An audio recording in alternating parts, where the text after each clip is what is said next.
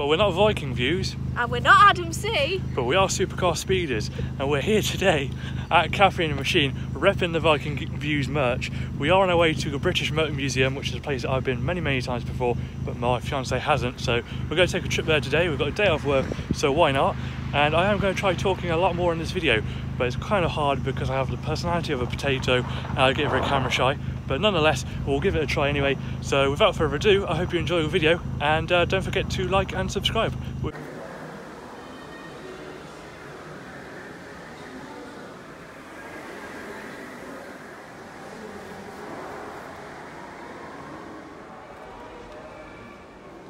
one of the main reasons why we're here is to take a look at the DeLorean. It's obviously moved from where it used to be in the room over there out onto the main floor here. But we're both big fans of Back to the Future and this is from the second movie. So it's a replica from the second movie. Obviously you've got Mr. Fusion and uh, unfortunately we're not able to open it up for us. Uh, you can sort of get a glimpse inside. The flux capacitor at the back. It's a very good replica.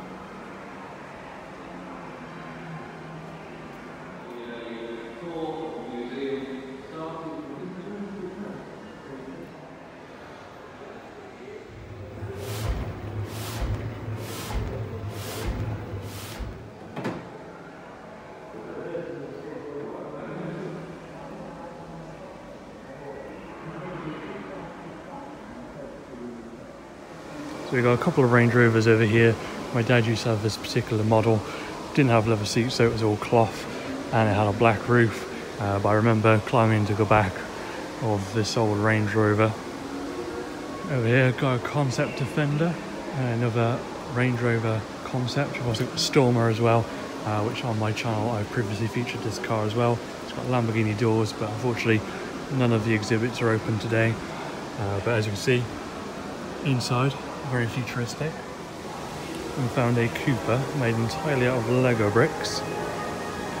The coolest mini I've ever seen. Check out that stance though. We have the McLaren MP4 12C. You might remember this car from Top Gear back in the day. This exact car was driven by Jeremy Clarkson. Big fan of the colour as well.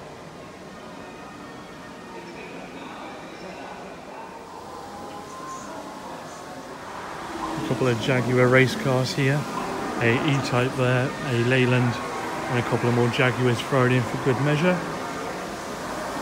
as well as some Ford rally cars. So one thing that's caught my eye is this prototype MG here, obviously made in Coventry. It's never actually made it into production, but just take a look how cool it looks, how futuristic it looks, and how cool it would be to have one of these and own one of these.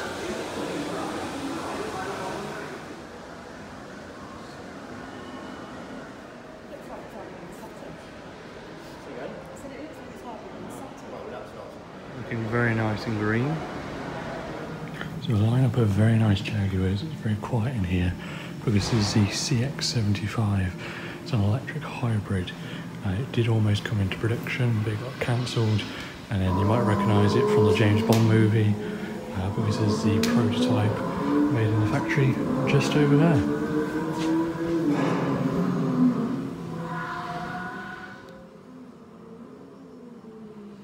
There's something crazy like only three running models ever produced, but this is a prototype. Obviously, it doesn't have a real engine in it, um, but nonetheless, still looks the part. Still looks very futuristic. Still looks very cool.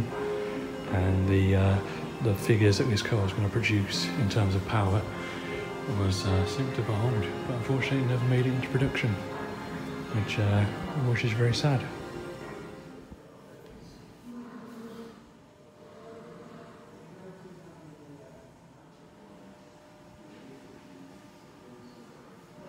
We have a Jaguar F1 car and a Formula E car. If you look at my channel, you'll see a video of this which shows a Bull Hill climb. Here we've got the Bloodhound SSC car. Uh, this was a test car to test the parachute for the Bloodhound. Unfortunately, the project, as far as I know, is no longer going. Uh, but this is the test mule for the cannon for the parachute. And then next to it, we've got a Jaguar XJ220. This is the concept car. The actual production car didn't have the Lamborghini doors. but nonetheless, a very cool looking car.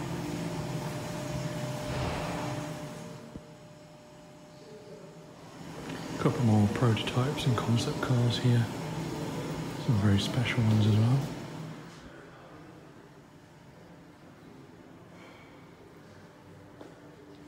Followers of the channel for some time will recognise this Jaguar X-Type Estate.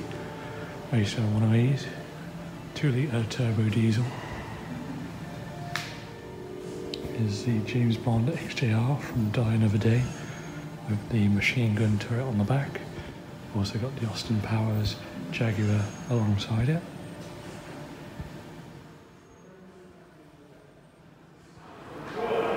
So in 2021, the uh, Honda factory closed in Swindon, unfortunately, and this car is in memory of the staff members that used to work there. All parts of the car are covered in signatures of all the staff members, as well as their employee numbers. A very fitting tribute to staff members that dedicated 35 years to the factory in Swindon. Another car from my childhood is this Rover SD1. My dad used to have one in red. Got many, many childhood memories of that car. And then just over there, there's a lineup of Range Rovers. And there's also a P38, which my dad used to have, obviously that not the police variant. But um, yeah, a very nice collection up here. These are all the cars that they didn't have room for in the museum itself. So we've got the likes of the Mr. Bean coloured Mini over there, uh, some special Jaguars over there with police lights in the grille, and some more over there, and also some concept cars hidden in the mix as well, as well as a lorry as well. But yeah, a very nice collection here. It's only growing. Uh, I came here a couple of years ago, and since then the collection's grown. Cars change, and they constantly move cars in and out. Uh, but nonetheless, a very nice collection. As you can see, there's cars as far as the eye can see. Also, these pair, these are quite notable. These two are owned by the royal family, and I recognise the Jaguar from a couple of years ago when I met Meghan Markle in Birmingham. She loved the California sweater I was wearing. These two cars, I remember specifically from that day with the number plates, obviously the Jaguar. And it's got the police lights in the grille, police lights on the dashboard, and of course the Range Rover I'm not sure if this is the one who bulletproof windows or not, but I recognise these from the day, and uh, these are actually owned by the royal family.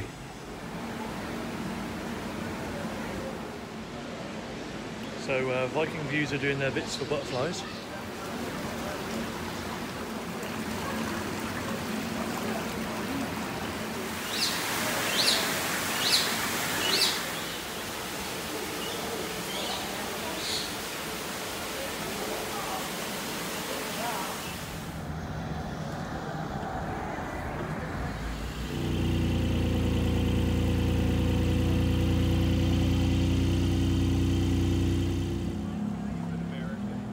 So we stopped briefly at Caffeine Machine to have a drink. Lovely Corvette. There's an E-Type over there. There's also an MG Midget over there. And just over here there's two Ferraris. There's the Ferrari California and the Ferrari F430 Spider. So we are back home now and I'm in my home office. I am in the middle of setting it up. Hopefully have either a TV or a picture on the wall behind me. Uh, I've got some stuff over there, a cabinet of all my model cars over there. I'll quickly show you what's behind me as well. I uh, can't show you too much, because it's quite a mess in here, but a couple of my model cars up there as well. Uh, loads more to come from home, and I'm just using an old laptop uh, to prop my phone up for the moment because I'm in the process of deleting everything off the laptop and getting rid of it. And nonetheless, we had a fantastic day, and I hope you guys enjoyed the video. I just want to say a big thank you to everyone that shows support on Instagram, Facebook, well, I don't really use Facebook anymore, but I notice that the likes are still going up, so I do appreciate that. And also the people that follow me on YouTube. Uh, you guys are amazing. I really enjoy interacting with you guys, especially when I go to car shows, etc. And you know, just meet up with you and having a chat. Yeah, today was a bit of a, uh, a short video. Uh, there's quite a lot of car shows happening this weekend, but I'm busy tomorrow. I'm busy Sunday, so unfortunately, uh, when the sun's out and car shows are happening, unfortunately I have other plans, I'm afraid, which I cannot cancel. So uh, I thought I'd go out and go out with my missus and also film a video for you guys at the same time. So uh, you're welcome. But anyway, uh, thank you very much for watching the video. I'll see you all in my next video.